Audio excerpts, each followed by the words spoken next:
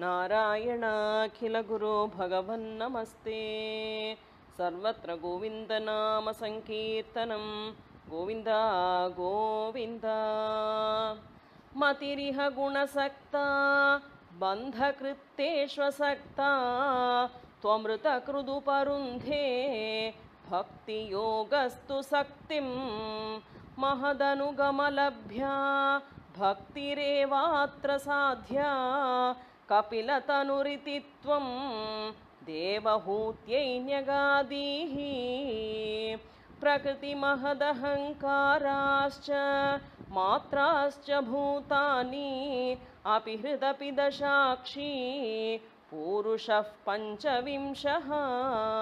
इति विदितविभागो मुच्यते सौ प्रकृत्याः कपिलतनुरिति त्वं देवहूत्यै न्यगादीः प्रकृतिगतगुणौघैः नाज्यते पूरुषोऽयं यदि तु सजति तस्या तद्गुणास्तं भजेरन् मदनुभजन तत्त्वा लोचनैः साप्यपेयात् कपिलतनुरिति त्वं देवहूत्यै न्यगादीः विमलमतिरुपातैः आसनाद्यैर्मदङ्कं गरुडसमधिरूढं दिव्यभूषायुधाङ्गं रुचितुलिततमालं शीलये तानुवेलं कपिलतनुरिति त्वं देवहूत्यै न्यगादीः। मम गुणगणलीला कर्णनैर्कीर्तनाद्यैः मयि सुरसरिदोघ प्रख्यचित्तानुवृत्तिः भवति परमभक्तिः। सा हि मृत्योर्विजेत्री कपिलतनुरिति त्वं देवहूत्यै न्यगादीः।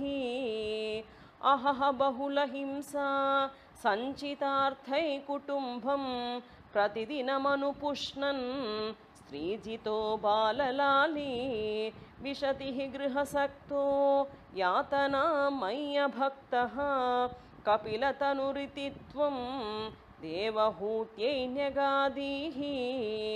युवतिजठरखिन्नो जातबोधोऽप्यकाण्डे प्रसवगलितबोधः पीडयो बाल्यं पुनरपि बत मुह्यत्येव तारुण्यकाले कपिलतनुरिति त्वं देवहूत्यै न्यगादीः पितृसुरगणयाजी धार्मिको यो गृहस्थः स च निपतति काले दक्षिणाध्योपगामी मयि निहितमकामं कर्म तूदक्पदार्थं कपिलतनुरिति त्वं देवहूत्यै न्यगादीः इति सुविदितवेद्या।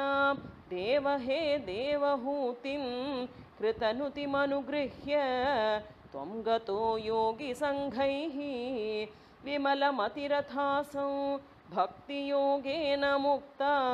त्वमपि जनहितार्थं वर्तसे प्रागुदीच्या परम किमु बहुक्त्या? त्वत्पदाम्भोजभक्तिं सकलभयविनेत्रीं सर्वकामोपनेत्रीं। वदसि खलु दृढं त्वं त्वद्विधूयामयान्मे गुरुपवनपुरेश त्वय्युपाधस्त्वभक्तिं नारायणाखिलगुरो भगवन्नमस्ते सर्वत्र गोविन्दनामसङ्कीर्तनं गोविन्द गोविन्द